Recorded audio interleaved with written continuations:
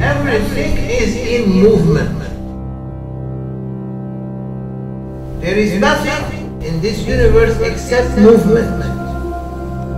You are moving, the universe is moving, beyond universe is moving. This whole universe, which consists of 6,000 galaxies, is moving in a vacuum no one knows where with a fuel that we cannot understand. There is 80 billion stars in our galaxy and we are moving. Who is keeping these planets in their places? When Big Bang happened, everything shattered, but they stopped in their right places. Who put them in these right places? Do you see the constellation at night? Who did that? Maulana Sheikh Hisham Kabbani is a renowned Islamic scholar and spiritual guide who moved to the United States in order to better educate and enlighten people on the spiritual science of Sufism, also known as moral excellence.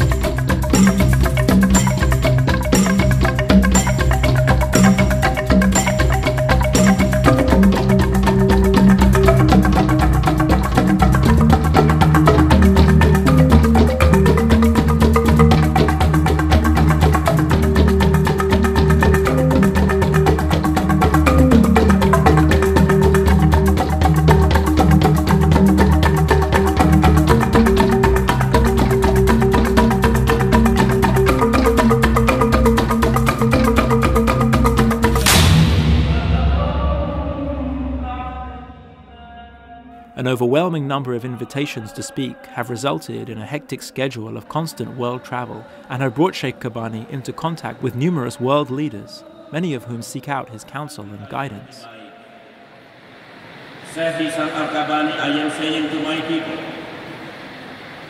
my brothers and sisters, that you are my teacher, that you gave me a lot of advice, and I implement it in leading my country. Give food to people. They are in need. They need to eat. There are poor people, they don't find one rice. Make this country to give food to people. This is what is important. Much less known to the public is Sheikh Kabbani's charitable giving. Through his US based organizations, he has helped countless communities, establishing houses of worship, building water wells in Africa, helping feed underprivileged communities in Pakistan, Uzbekistan, and Afghanistan, as well as in Indonesia, where he has helped establish a girls' orphanage, not to mention the critical emergency relief to Aceh in the aftermath of the tsunami. Sheikh Kabbani also makes it a point to offer assistance to some of the poorest American communities, like here in Flint, Michigan, mending many bridges with US Islamic relations in the process.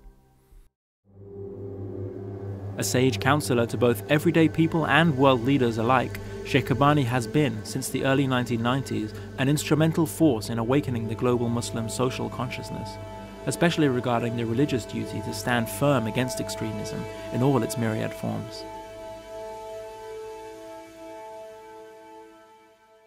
Our duty is to help, not to sit and be part of this conspiracy. Why you want to make an Islamic state in America and England? Muhajirun, you are not happy here? Or uh,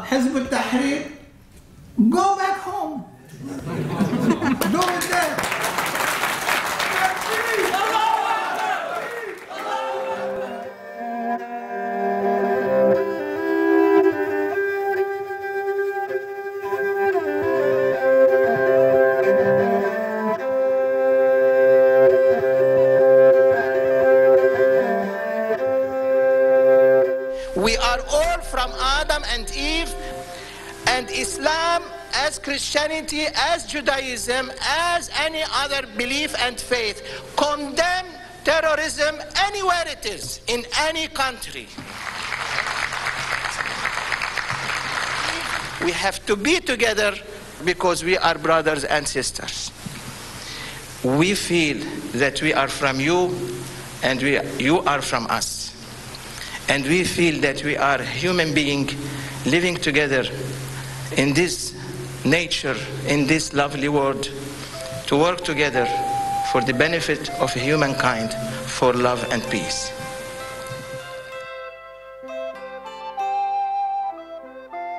With the heaviness of recent years hanging over the global community, and the grounds beneath us shifting rapidly and unpredictably, we see now, more clearly than ever, that authentic spirituality is the force that will, once again, guide mankind towards a more sustainable future.